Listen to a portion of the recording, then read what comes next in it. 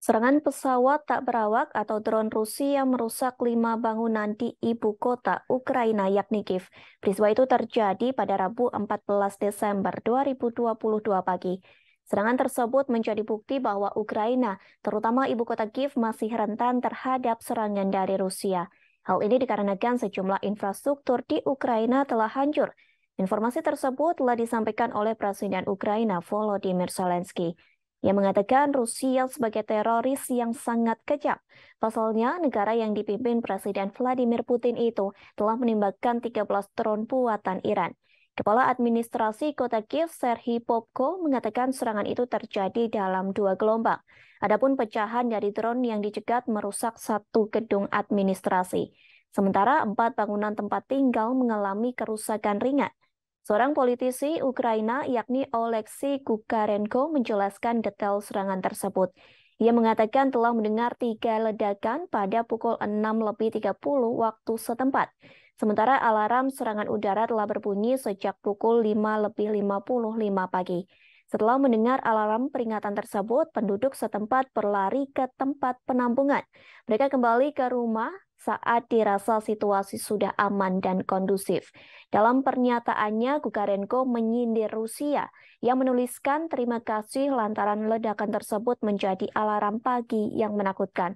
Serangan tersebut meninggalkan lubang menganga di atap gedung administrasi tiga lantai tersebut. Selain itu, serangan tersebut juga merusak jendela mobil yang terparkir di jalanan.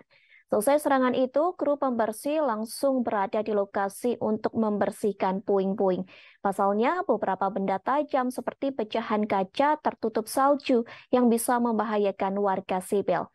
Juru bicara Angkatan Udara Ukraina, Yuri Ilnat, mengatakan serangan itu sengaja dilakukan saat hari gelap.